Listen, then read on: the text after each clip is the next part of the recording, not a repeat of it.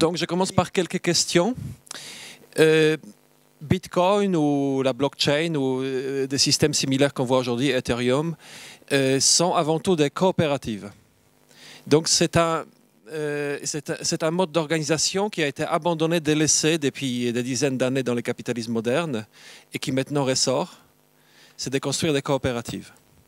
Euh, la nécessité pour les banques euh, de se mettre en coopérative est bien connue, mais c'est seulement après la crise financière qu'on a vu que c'est important, parce que finalement les banques ne se font plus confiance. Donc c'est pour ça qu'on a besoin de coopératives. D'accord? Mais il y a des grandes questions. Comment est-ce qu'on peut travailler dans une coopérative sans se faire manipuler, par exemple, par des gens puissants? Donc, il y a ces, questions qu'on a déjà vues de 51%, par exemple. Et puis, il y a une autre question sur laquelle moi je vais beaucoup insister, c'est la question de, la confiance dans les codes sources. Est-ce qu'on peut, faire confiance aux codes sources? Par exemple, Satoshi Nakamoto est auteur à peu près de 2% des codes sources dans les bitcoins, mais évidemment, euh, ces 2% sont extrêmement importants. D'accord? À la limite, il suffirait de changer une virgule dans les codes et ça change, tout. D'accord?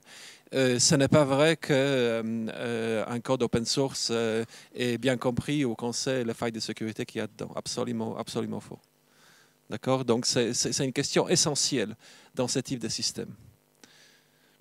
normalement, dans les codes sources, comme Linux, on sait qui a écrit le code source. Là, ici, on ne sait pas qui l'a écrit. Au moins cette partie-là. D'accord?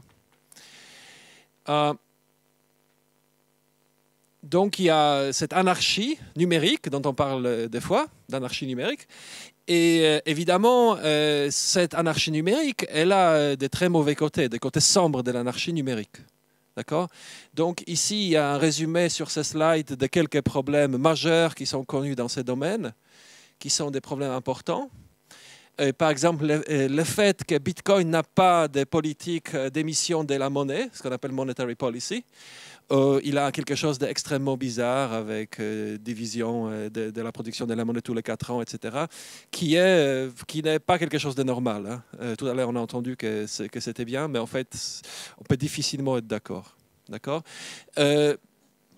Voilà, mais je ne vais pas aborder ces sujets. C'est un sujet pour les spécialistes. Euh, il faudra demander à des gens qui dirigent la banque centrale pourquoi est-ce qu'il faudrait une politique monétaire telle ou autre. Voilà.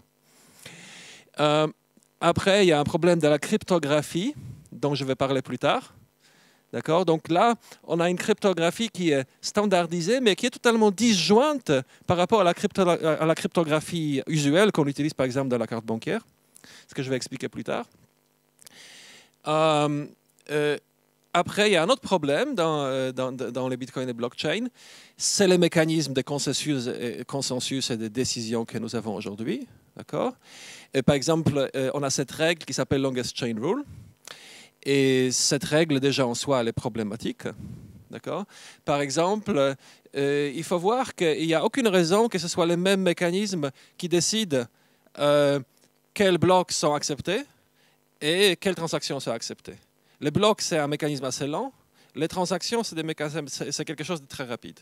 Alors pourquoi on utilise le même mécanisme pour les deux? C'est déjà euh, quelque chose qui, euh, qui clairement n'est pas tout à fait normal. D'accord? Après, il y a la question des 51% euh, qui est liée à ça, à ce mécanisme de décision, de consensus.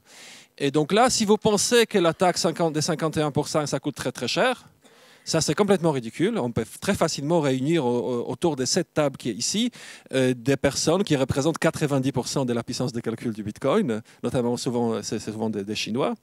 Et donc, euh, voilà, il y a une fragilité gigantesque du réseau du Bitcoin actuel. Il n'est pas antifragile, malheureusement il pourrait être antifragile en théorie. Je pense que Satoshi Nakamoto a voulu que ces réseaux soient antifragiles et qu'ils soient, robustes.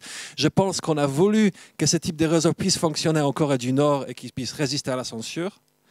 Et je pense qu'aujourd'hui, on a totalement failli atteindre ces objectifs. D'accord?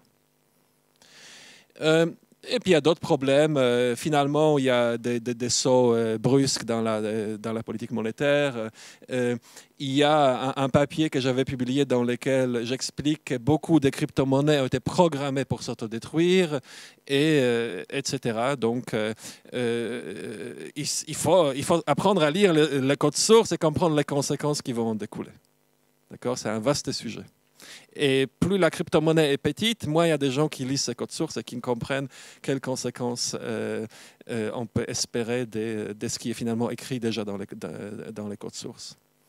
Ce qui fait que finalement, les crypto-monnaies dominantes comme Bitcoin euh, ont un grand avenir parce que les concurrents ont du mal à percer même si c'est les concurrents, c'est là que ça se passe toute l'innovation et c'est là qu'on peut faire des choses, euh, améliorer les protocoles, etc. Donc toute l'innovation, euh, comme, d'ailleurs dans, dans, dans, des industries, dans télécom, on a toujours, toujours connu ça. Il y a, il y a des, mastodontes qui euh, font pas beaucoup d'innovation. Et puis, il y a des, petites entreprises, des startups, des PME qui font des innovations. Donc, c'est un peu similaire dans le monde de la blockchain. D'accord?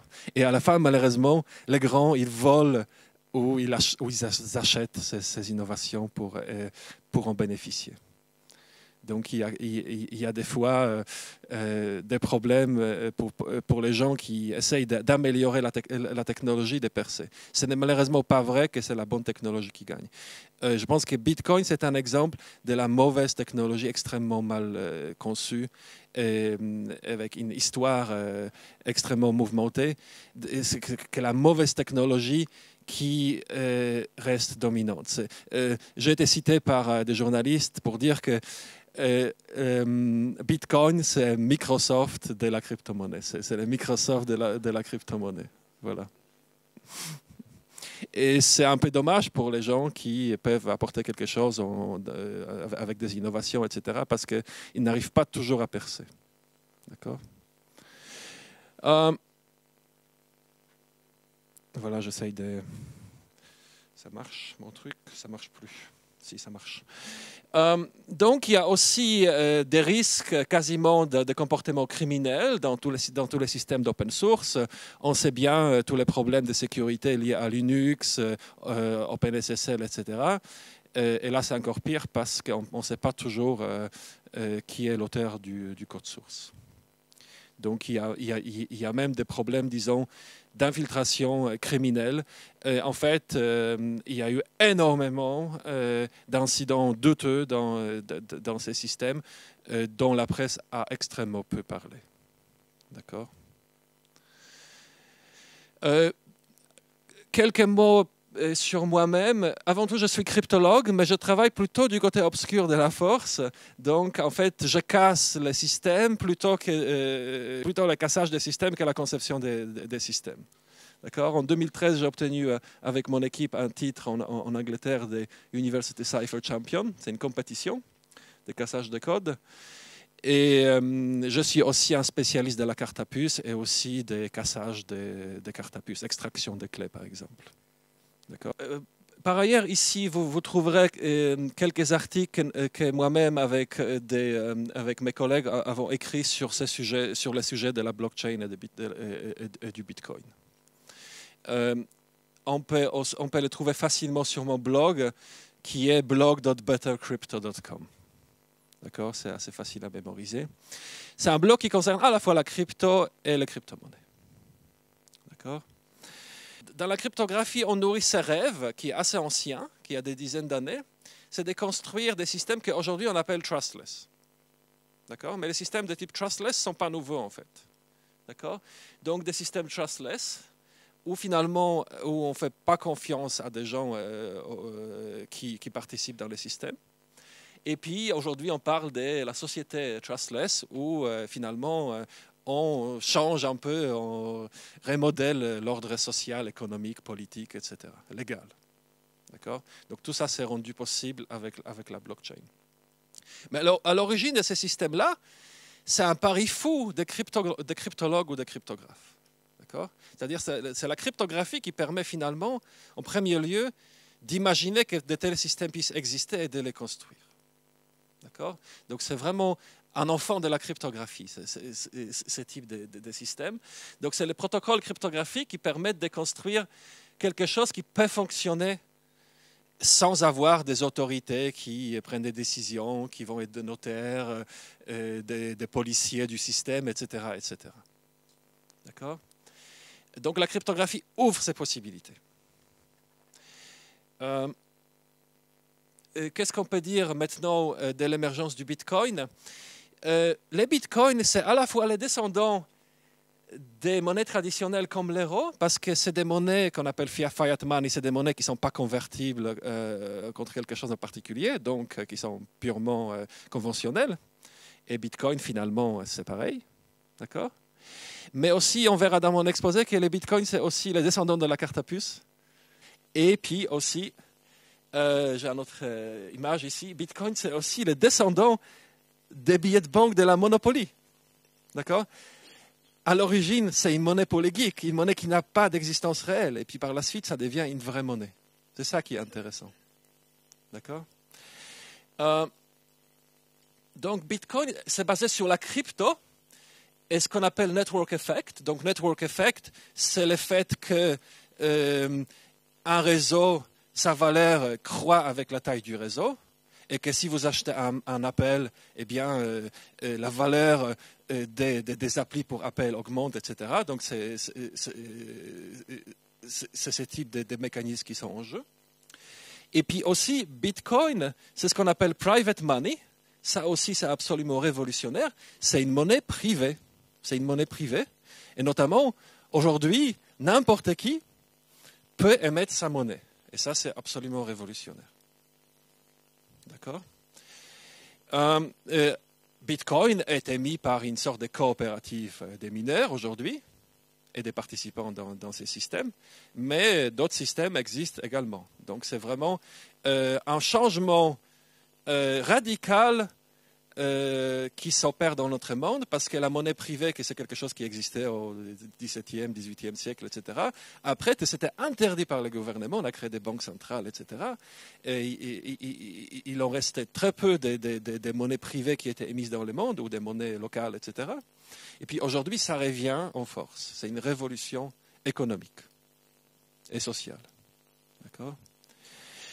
Euh, euh, Bitcoin, le Bitcoin, c'est une monnaie cryptographique avec, euh, une base de données euh, publique, mais c'est plutôt, euh, c'est plutôt un système de comptabilité qui n'est pas du tout une comptabilité à double entrée finalement, enfin pas exactement ce qu'on connaît en comptabilité. Donc, il y a un ledger public qui contient finalement l'historique de toutes les transactions. Un utilisateur, il peut avoir plusieurs comptes qui finalement sont des pseudonymes.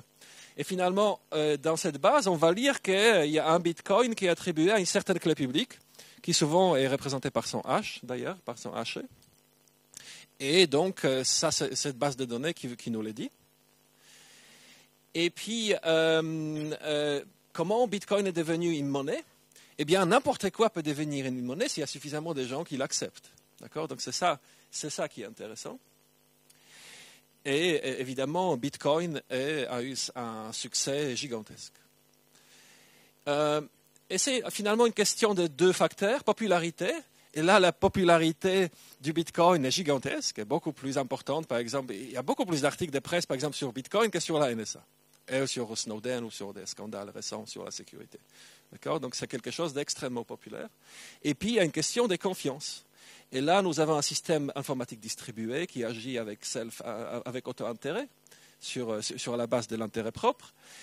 Et euh, ce qui est révolutionnaire, et c'est la crypto qui le permet, c'est qu'on ne fait pas confiance, on ne devrait pas faire confiance à, qui que ce soit. C'est ça qui est, qui est absolument révolutionnaire ici. Et donc là, finalement, on s'aperçoit que cette confiance n'est peut-être pas si importante que ça. Qu'on peut construire des systèmes où, finalement, on n'a pas besoin de confiance à beaucoup de gens, à beaucoup d'acteurs dans ces systèmes. C'est ça qui est révolutionnaire. D'accord? Euh, Je pense qu'avant, les gens n'imaginaient pas qu'on pouvait faire une monnaie sans des autorités de confiance. Je pense qu'avant Nakamoto, très peu de gens imaginaient qu'on pouvait le faire. Évidemment, avant Adam Bach et d'autres pionniers de ces techniques. D'accord euh, donc, historiquement, nous avons l'invention des de, caches électroniques euh, par, David Chaum. Et là, ici, c'était des systèmes où l'anonymité était euh, recherchée. Et c'est peut-être une des raisons pour laquelle ces systèmes n'ont pas eu un grand succès, parce qu'évidemment, les gouvernements et les, banquiers n'aimaient pas du tout ça. Et puis, nous avons cette nouvelle vague des monnaies électroniques qui commence avec Bitcoin, avec Nakamoto euh, qui ont la particularité que euh, l'argent, euh, finalement, est créé dans ces systèmes, ce qui n'était pas le cas avant. Ça, c'est nouveau. On a vu tout à l'heure un, très intéressant exposé qui explique que peut-être, sur le plan de, de, la physique, de la nature de l'univers dans lequel nous vivons, peut-être que c'est une euh, propriété fondamentale, que peut-être qu'il faut de l'énergie pour construire ce type de système, on a vu ça tout à l'heure. Et probablement c'est vrai. Probablement, euh, probablement ce que Ethereum prévoit de faire dans l'avenir proche, c'est-à-dire de supprimer la preuve de travail, c'est probablement une erreur gigantesque. D'accord? Euh, que peut-être par ailleurs, Ethereum peut-être peuvent se permettre, parce que c'est un système qui, avant tout, à mon avis, est fait pour fonctionner pour un certain nombre d'organismes bancaires, etc. D'accord? Donc peut-être qu'ils peuvent se permettre de faire ça, mais je pense que euh, en général, la preuve de travail, c'est quelque chose d'extrêmement fort euh, qui existe dans ces systèmes. C'est extrêmement fort aussi par rapport à ce qu'on appelle ce network effect, parce que ce network effect, c'est aussi euh, une, boucle de, de rétroaction dans, beaucoup de systèmes, il existe des, boucles de rétroaction. C'est-à-dire, si des gens achètent des ordinateurs Apple, par rétroaction, finalement, euh, la valeur des applications pour ces, euh, euh, pour, ces, appareils augmente. Et de même façon, ici, par, par rétroaction, ce système qui crée de la monnaie est capable de se nourrir lui-même. C'est ça qui est exceptionnel ici. C'est qu'on a un système dans lequel l'argent est dans la boucle de l'innovation et l'innovation peut être convertie dans l'argent et l'argent peut être converti en innovation. C'est ça qui est intéressant. C'est cette boucle extrêmement courte euh, qui existe dans Bitcoin, qui est extrêmement longue dans les industries traditionnelles. Hein. Euh, euh, dans les, industries traditionnelles, on va déposer un brevet et puis notre chef va nous dire mais non, c'est pas dans la stratégie de l'entreprise, ça nous intéresse pas. Et les innovations sont tuées. Ou alors des innovations euh, ont une vie extrêmement dure parce qu'il y a Bitcoin qui domine et d'autres crypto-monnaies qui ont du mal à percer. D'accord? Donc il y, a, beaucoup de choses qui font que les innovations ont un mal fou à percer dans les, dans les mondes dans lesquels nous vivons. Et Bitcoin crée cette boucle de rétroaction extrêmement rapide où, par exemple, si vous arrivez à améliorer la performance du processus du minage, ça se convertit, en cash de façon immédiate. D'accord? Et donc, euh, euh, financer d'autres innovations. D'accord? Donc, c'est pour ça qu'on peut penser qu'un jour, on aura peut-être des ordinateurs quantiques pour faire du minage de Bitcoin parce que, parce que ce sera rentable. D'accord? Et là, on va voir qu'on euh, va enfreindre toutes les règles des, des, des, des financements de l'innovation ou de la gestion des projets, parce qu'on va s'apercevoir qu'on peut développer des choses beaucoup plus rapidement. Pourquoi? Parce qu'il y a de l'argent à, à, à prendre. D'accord? Donc c'est une grande nouveauté que Nakamoto a, euh, euh, a créé, c'est de, de, créer ces systèmes vertueux où l'argent fait partie de l'équation. D'accord? C'est extrêmement intéressant.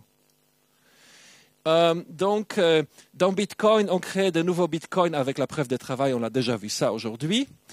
et en fait, c'est un processus à, à, à, somme nulle qui fonctionne comme une loterie. C'est-à-dire il y a un gagnant toutes les, toutes les 10 minutes, en gros, qui va gagner. Euh, actuellement, c'est 12,5 bitcoins. D'accord? Euh, évidemment, il y a des solutions alternatives. Ces bitcoins pourraient être émis par la banque centrale, etc. Donc, il y a d'autres possibilités pour, euh, pour amorcer ce type de système aujourd'hui. après, quand vous voulez autoriser le transfert de vos bitcoins, là, euh, euh, euh, tous les pouvoirs résident avec la clé privée. Vous avez la clé privée, d'accord? Vous pouvez dépenser votre, vos, bitcoins, d'accord? Et donc là, malheureusement, la plupart des gens vont stocker ceci sur des PC ou les téléphones portables. Donc là, évidemment, ceci se fera bonheur des hackers, d'accord? Et donc là, il faut évidemment quelque chose de sécurisé comme une carte à puce. D'ailleurs, il y aura un exposé cet après-midi sur ce sujet par Nicolas Baca. Donc, en fait, la, bonne solution, c'est ça. D'accord? Mais c'est la première fois dans l'histoire qu'en fait, ce type de, euh, de, technologie, qui est une technologie française de la carte à puce, a de la valeur monétaire. C'est-à-dire, on peut stocker de l'argent là-dedans Avant, ce n'était pas le cas. Dans le système bancaire traditionnel, à la limite, si la carte à puce était cassée, c'est pas grave, on pouvait les réparer. Ici, on ne peut pas. Ici, votre argent va vraiment disparaître si, euh, si votre clé privée est, compromise par, par, l'attaquant. Donc ça, c'est aussi euh, un nouveau type de danger qui, qui apparaît. Mais, mais, finalement, ça crée de la valeur pour les gens qui, euh, qui fabriquent ce type de dispositifs sécurisés, comme des cartes à puce. Donc ça permet de dire, voilà, là, ça devrait maintenant être une forteresse encore à plus de raisons qu'avant. D'accord? Parce que, parce que vraiment, il peut y avoir un milliard de, dollars stockés sur ces trucs-là. D'accord? Il peut y avoir une somme absolument gigantesque. D'accord? Et, donc, ça, c'est nouveau. Euh, et puis, si vous avez cette clé privée, vous allez pouvoir euh, envoyer des bitcoins avec une application à une certaine adresse. Et comme ça, les bitcoins, c'est un peu, ou plus ou moins exactement comme signer un chèque. D'accord? Sauf que vous utilisez une signature électronique. Et à ce moment-là, les bitcoins vont se retrouver euh, appartenir à une autre entité du, système, une entité anonyme. Euh, et donc, c'est les signatures digitales numériques qui vont être utilisées ici. Quelques mots sur les signatures. Euh, les signatures euh, sont utilisées à chaque fois que vous allez sur un site web ou vous faites du commerce ou, de la banque. Évidemment, c'est crucial de savoir que vous parlez vraiment à la, bonne personne. Donc les signatures numériques font déjà partie des choses qui sont indispensables pour le fonctionnement des réseaux ouverts et de l'Internet. Et donc là, évidemment, sont, sont très importantes. Donc, euh, les transactions du Bitcoin, avec tous les détails nécessaires, sont signées électroniquement. Euh, donc, euh, en crypto, c'est quelque chose qui est parfaitement bien résolu. Donc, vous avez des algorithmes de signature électronique qui souvent sont trois algorithmes. Algorithme de génération des clés, vous avez une clé privée. Celle-là, justement, il faut bien la stocker avec un dispositif bien sécurisé.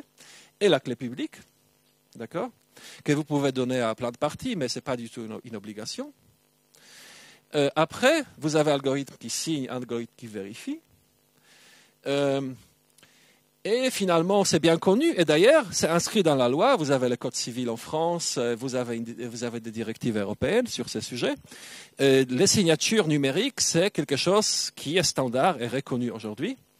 Et notamment, euh, dans l'esprit de ces directives, nous avons finalement des systèmes avec ces doubles liens, qui est, finalement ce qui, caractérise des signatures numériques, les liens avec le document que vous signez et les liens avec la personne qui signe. Donc c'est un peu la définition des signatures numériques, c'est ce double lien. D'accord?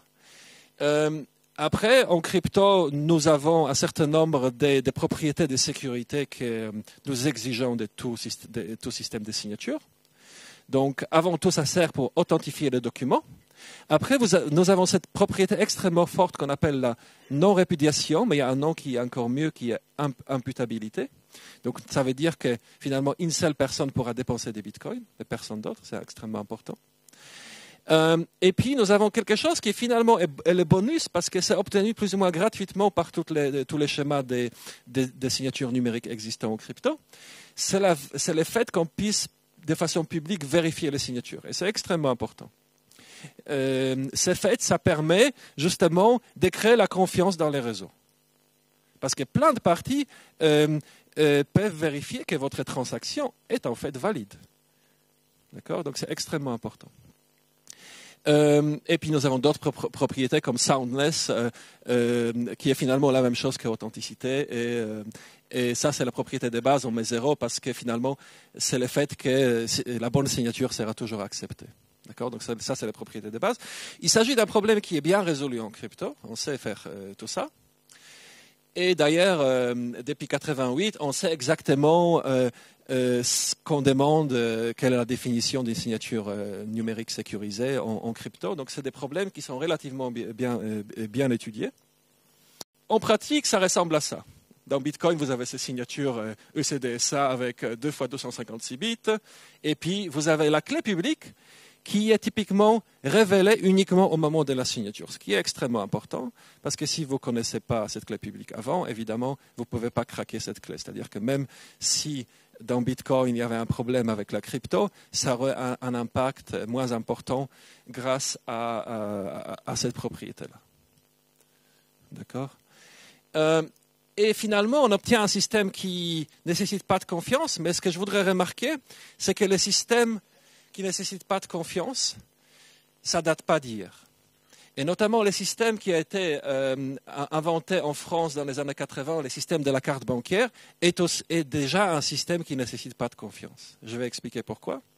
Donc dans la carte bancaire, euh, typiquement une transaction euh, que, vous, effectuez, vous achetez une baguette dans un magasin peut-être, vous composez votre code PIN, donc il y a, toutes, les, fonctionnalités qui sont activées.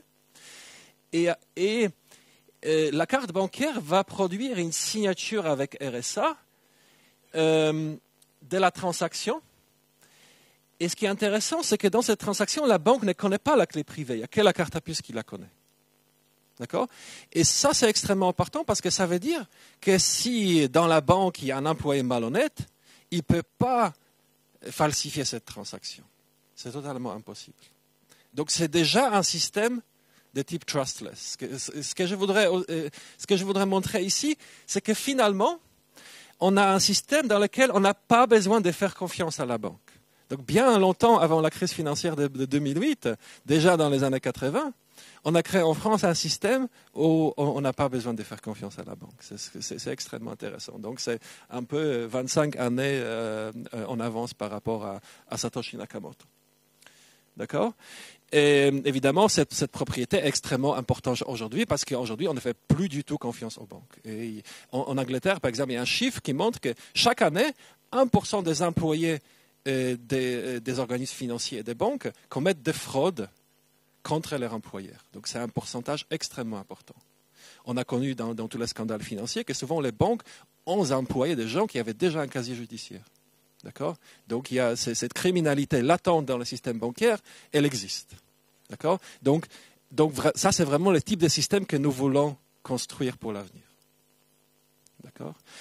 Euh, Et donc finalement, euh, ce que je voudrais montrer ici, c'est que Bitcoin est aussi un descendant de la carte bancaire française. Finalement, c'est un système, mais finalement, on a supprimé la banque, on a remplacé par un, par, un nuage, d'accord, des ordinateurs qui sont connectés entre eux, mais finalement, ces, composants de confiance qui est la carte à puce est le même.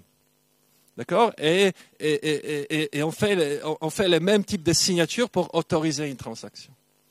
D'accord? Donc il y a une filiation assez intéressante ici. D'accord? Euh, Et donc, euh, ces transactions, après, ils sont groupées euh, avec, avec, un bloc qui est miné toutes les 10 minutes. Donc, vous avez un bloc qui regroupe un certain nombre de transactions, aujourd'hui 1000 ou 2000 par exemple. D'accord? Et donc, ces blocs sont très difficiles à faire, comme vous le savez, donc il faut vraiment du matériel spécialisé et dépenser de l'énergie pour les créer. D'accord?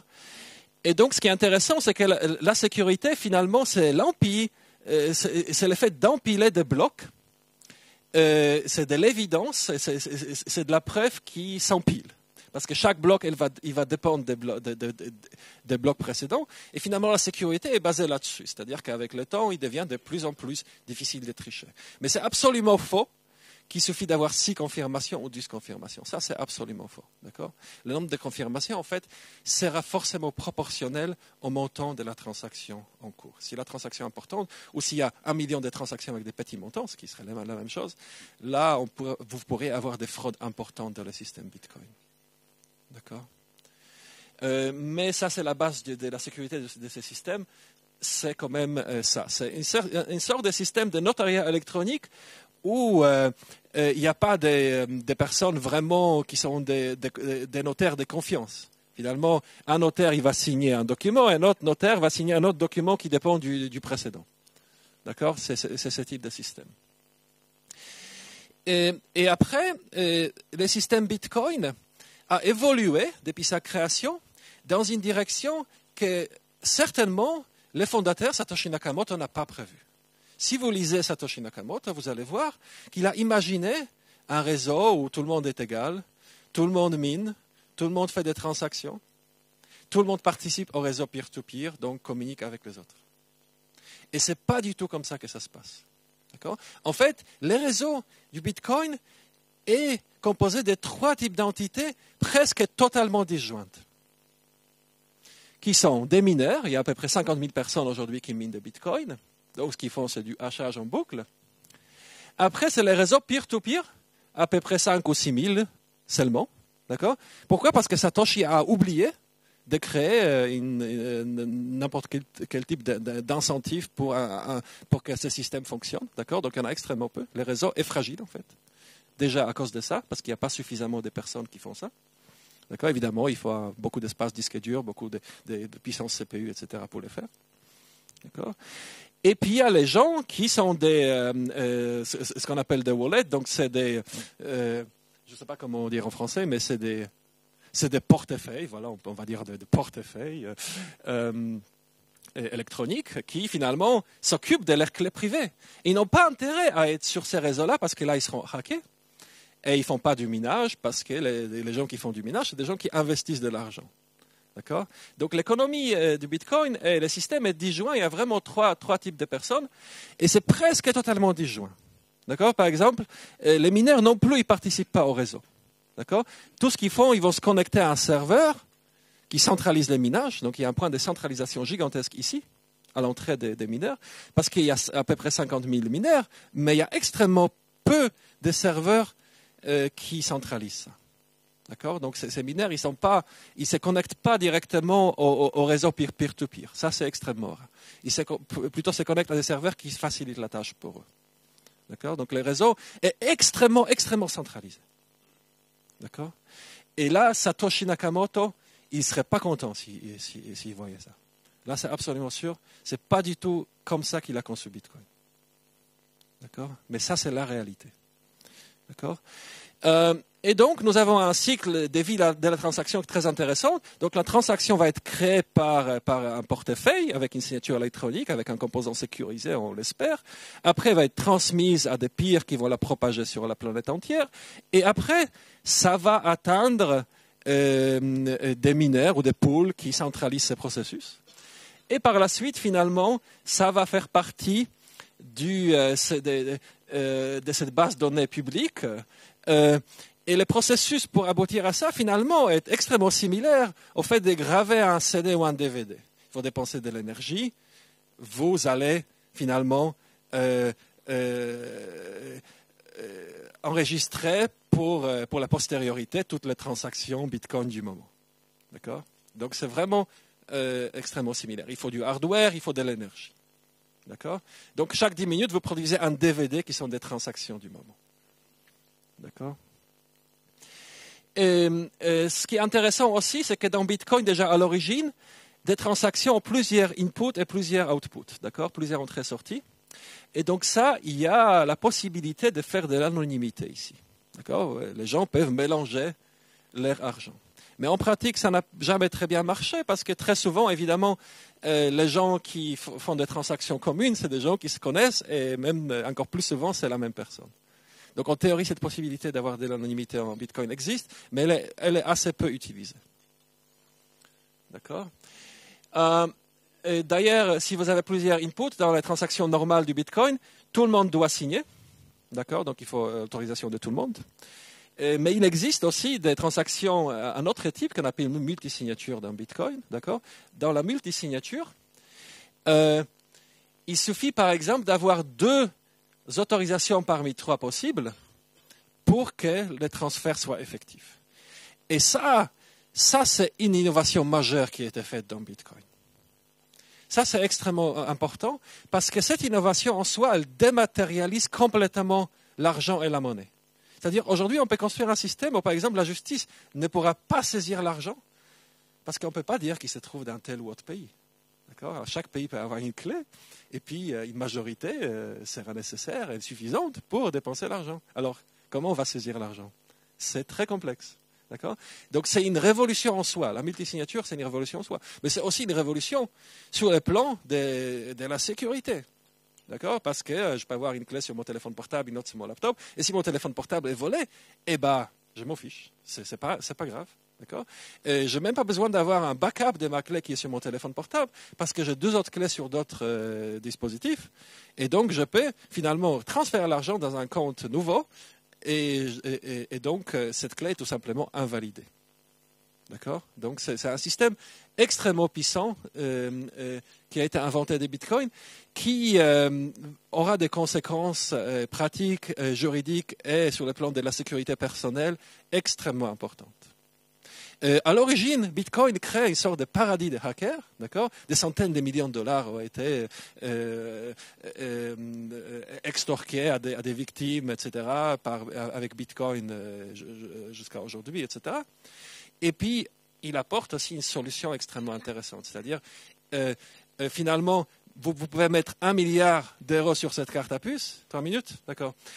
Mais on ne pourra pas vous les voler avec la multisignature. Parce que vous allez mettre d'autres clés ailleurs pour protéger votre argent. Donc ça permet de dématérialiser l'argent par la suite. Euh, et donc, est-ce que Bitcoin c'est sûr? Moi, je n'ai plus trop le temps de, de, euh, découvrir tout ce que j'avais à couvrir. Mais évidemment, nous avons, une grande innovation euh, française ici qui est Ledger, qui sera présentée plus tard aujourd'hui. Donc, je vais un peu zapper ça.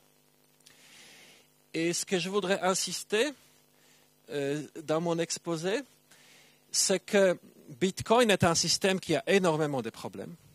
D'accord? Et je vais juste montrer un. donc, évidemment, il y a, il y a un problème des des chartes 256, d'accord euh, Mais il y a aussi le problème de la courbe elliptique. Les courbes elliptiques, en principe, c'est sûr. Pourquoi? Parce que vous avez les prix. Par exemple, si vous cassez une certaine courbe elliptique, bon, vous avez un prix de 100 000 dollars. Dans l'ensemble, c'est à peu près un million de dollars que, vous pouvez gagner. Donc, on peut expliquer à un banquier pourquoi une courbe elliptique, c'est sûr. D'accord? Euh, Dans Bitcoin, il y a quelques petits problèmes. Donc, si vous lisez la wiki officielle de Bitcoin, qui a un truc gigantesque, plus de 1000 pages web euh, qui explique le Bitcoin, qui essaye de vous éduquer sur Bitcoin, c'est un site web qui vous ment, qui vous escroque. D'accord? Euh, si vous le lisez, ils vous disent que la cryptographie dans Bitcoin, c'est la même chose que la cryptographie utilisée dans les cartes, dans les cartes bancaires ou dans les transactions électroniques euh, bancaires. Et ça, c'est absolument faux. Ça, c'est absolument faux. La cryptographie dans Bitcoin est totalement disjointe de la cryptographie qui est utilisée traditionnellement, qui est celle autorisée par la NSA, par l'OTAN, par, utilisée par Microsoft et dans tous les standards euh, euh, possibles et imaginables de l'Internet et ailleurs. La cryptographie de Bitcoin, c'est quelque chose de très particulier. Euh, donc, potentiellement, c'est un nouveau scandale. mais je vais juste citer les, le cryptologue Dan Brown, qui en fait Actuellement, elle est chaire euh, du comité euh, euh, qui a créé les standards cryptographiques utilisés dans Bitcoin. D'accord? Et lui-même, il, vous dit depuis septembre 2013, il ne faut pas utiliser ce type de cryptographie. Il ne faut pas l'utiliser. C'est un peu comme vous utilisiez encore Windows XP alors que Microsoft vous en dit qu'il ne faut pas l'utiliser. Ce n'est pas très sûr. D'accord? Donc il y a un gros problème avec la cryptographie de Bitcoin et il y a beaucoup d'autres problèmes. Euh, pour cette raison, euh, il y a maintenant chaque année une conférence qui s'appelle Catacrypt, où les gens euh, réfléchissent très sérieusement quoi faire si notre crypto est cassé. Et d'ailleurs, notre crypto est cassé. La NSA l'a dit officiellement l'année dernière que la plupart des algorithmes de crypto que nous utilisons ne sont pas sûrs. D'accord? Notamment, si vous pensez que Bitcoin est sûr, la réponse est oui, probablement pour le moment, oui. Mais euh, à, moyen terme, on ne peut absolument pas faire confiance à, ce type de système. Et je pense qu'il y a une mauvaise foi et mauvaise volonté gigantesque de la part des développeurs et, des gens qui sont responsables du Bitcoin pour promouvoir des systèmes dont, euh, la sécurité est systématiquement euh, absolument contraire à tous les standards professionnels. Voilà, c'est à peu près tout ce que je voulais dire sur, euh, sur la sécurité de Bitcoin.